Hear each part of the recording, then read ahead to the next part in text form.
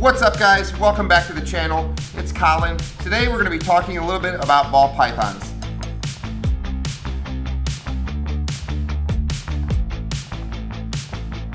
So when we come, when people come into the store, um, they often ask me when I'm sending them home with their first ball python. They ask um, first, how fast is my snake going to grow, and secondly, how uh, large is my ball python going to get? And the answer I usually have is it depends for these reasons. So there's three main factors uh, to consider when we talk about this. The first factor we want to consider is genetics. So just like humans, all snakes have a genetic potential, meaning how big they can get from the time they're born. So these guys all hardwired in, they already have a maximum potential of what they can achieve. Now, when it comes to ball pythons, typically for a female, that's gonna be a bit on the larger side, and for a male, uh, that's gonna be on the smaller side. So the maximum size a ball python can get is the upper, extreme upper end is about 72 inches or six feet. Um, on average, you'll see most ball pythons will fall around anywhere from that 43 to 48 inch mark.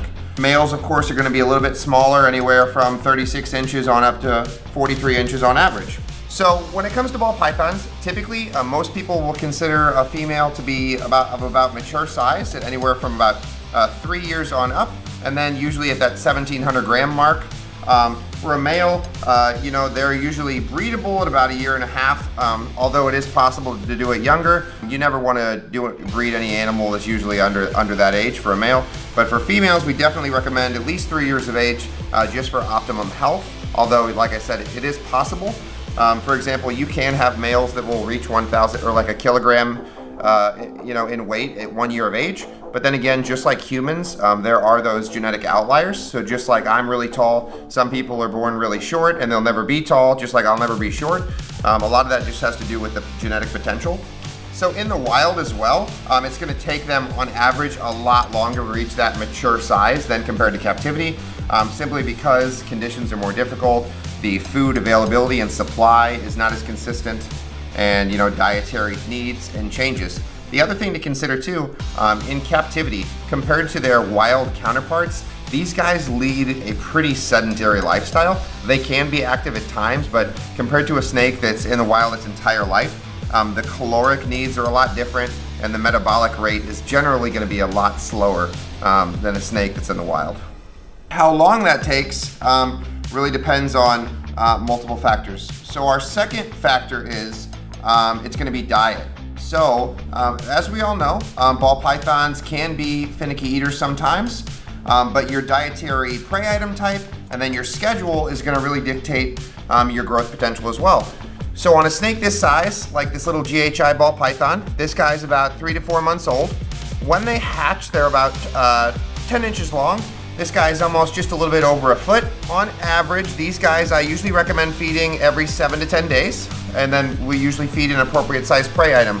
At this size, um, they're usually eating mice. If you can get them onto rats, that's usually a little bit better um, if you're trying to grow your snake a little bit faster.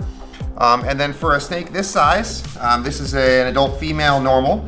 Um, she's a couple years old, um, but for a snake this size, typically what I recommend is feeding every two to three weeks. It really depends. and then the third factor would be husbandry.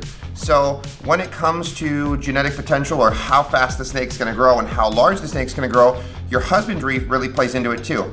Um, so keeping on a normal feeding regimen, and obviously um, if your snake goes off food for a couple weeks or you've had an issue with eating or there was a medical, medical problem, of course that's gonna slow down the speed at which your snake gets to size. The second thing though would be um, temperature.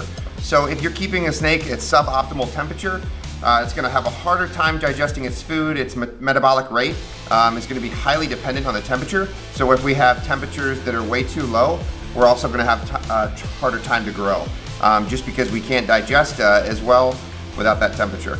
Another interesting fact about ball pythons is, since about the 1980s, they've uh, imported about 3 million ball pythons. So with as many ball pythons as we have in the hobby currently, um, and beings that most people have chosen to breed for, you know, genetic mutations and color morphs instead of specific locales or size, um, what we're seeing really now is it's just this really generalized average in size. In fact, um, it's pretty rare to find ball pythons that are over five feet in length anymore. Um, there used to be a locality coming out of West Africa called a Volta, and those would sometimes easily be right around six foot in length. But it's very uncommon, even for like, you know, a big female bull, to find anything over four feet these days. Not to say that they're not out there and it's not possible, um, but it's a lot less common. So with this sort of bell curve we've established based upon uh, imp importation and selective breeding, we kind of reached that median or that average um, size dispersion, and that's where we're at in this point. Thanks for watching, guys. If you have any questions, be sure to message us on our Facebook or our YouTube channel, or give our store a call. Thanks, and have a great day.